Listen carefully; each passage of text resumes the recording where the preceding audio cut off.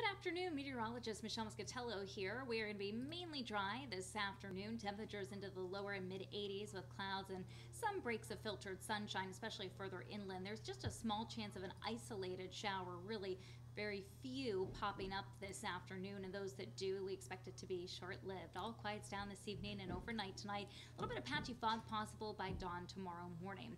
The temperatures overnight will be a few degrees cooler than the last few nights in the upper 60s. You know, we'll stay on the humid side. The temperatures build again heading into the weekend, upper 80s on Saturday and in the lower and mid 90s Sunday, Monday, and Tuesday. Trying to get to the beach to cool off this weekend, middle 80s Saturday, and a little breezy on Sunday in the upper 80s. You can get the full details on the forecast on our main weather page. Have a great day.